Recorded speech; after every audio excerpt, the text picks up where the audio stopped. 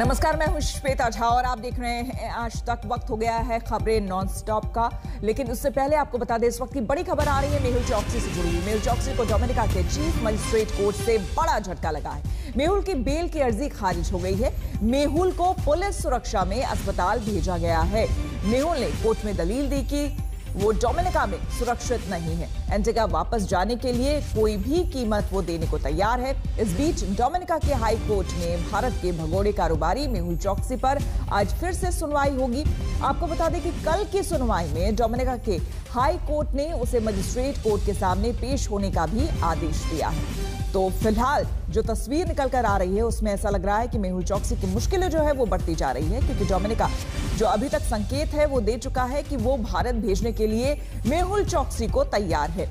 ऐसे में पुलिस की कस्टडी में ही उसका इलाज भी चल रहा है। इलाज अस्पताल में, क्योंकि उसका कहना है कि उसके साथ बुरा बर्ताव हुआ, उसकी मारपीट भी उसके साथ हुई है। उसके वकील भी यहाँ पर यही कह रहे हैं, लेकिन इस बीच पुलिस सुरक्षा में है, मेहुल चौकसी और मेहुल के प्रत्यर्पण पर आज फैसला बहुत संभव आ जाएगा। अब देखना होगा कि क्या फैसला आता है।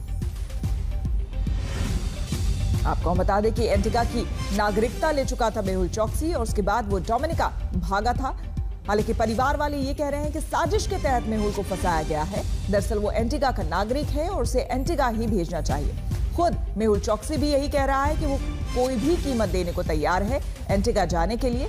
लेकिन डोमिनिका में फ़िलहाल पेशी चल रही है और यहाँ पर पूरे मामले की सुनवाई चल रही है और डोमिनिका की कोर्ट तैयार है मेहुल को भारत भेजने के लिए।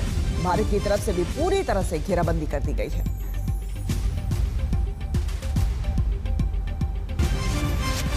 और आइए अब देखते हैं नॉन स्टॉप हंड्रेड।